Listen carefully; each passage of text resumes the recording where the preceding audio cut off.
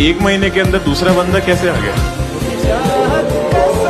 भाई, आप जिससे आप जिससे इश्क करने में 24 घंटे मसरूफ हैं, वो सिर्फ़ आपकी है, इस बात का कोई प्रूफ है?